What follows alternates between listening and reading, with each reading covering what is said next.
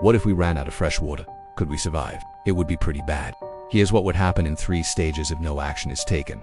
Stage 1 0 to 1 weeks. Panic buying, water rationing, bottled water and emergency reserves would be used up fast. Hospitals would struggle to operate. People would die. Stage 2 1 to 4 weeks.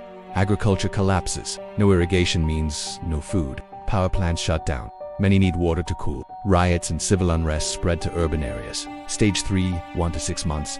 Mass migrations from water, scarce regions. Economic collapse, loss of all services. Governments would begin to fail. But there are some things we can do to survive longer. 1. Desalination.